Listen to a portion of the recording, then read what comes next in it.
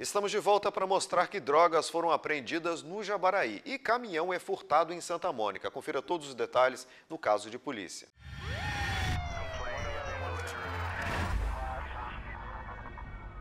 Um caminhão-baú foi furtado por volta da meia-noite desta sexta-feira na rua Tralfagar, no bairro Santa Mônica. Uma câmera de segurança registrou o momento em que o suspeito passa pela rua e, em cerca de um minuto, leva o caminhão embora. O veículo foi adquirido há apenas um mês pelo proprietário.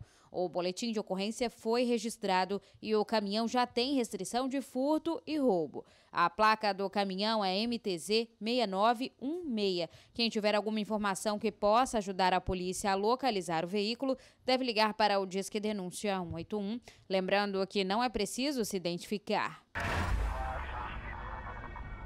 Na noite desta quinta-feira, a Força Tática da Polícia Militar fazia patrulhamento ostensivo pelo bairro Jabaraí quando recebeu a informação de que estaria ocorrendo movimento do tráfico de drogas em uma casa ali na comunidade. Os militares foram até o local indicado e abordaram três suspeitos. Com eles, os militares encontraram aí 484 pedras de crack, 263 pinos de cocaína, um tablete, seis pedaços e 129 buchas de maconha, um de pistola e quase R$ 1.500 em dinheiro. Os suspeitos, junto com a droga, foram encaminhados para a delegacia.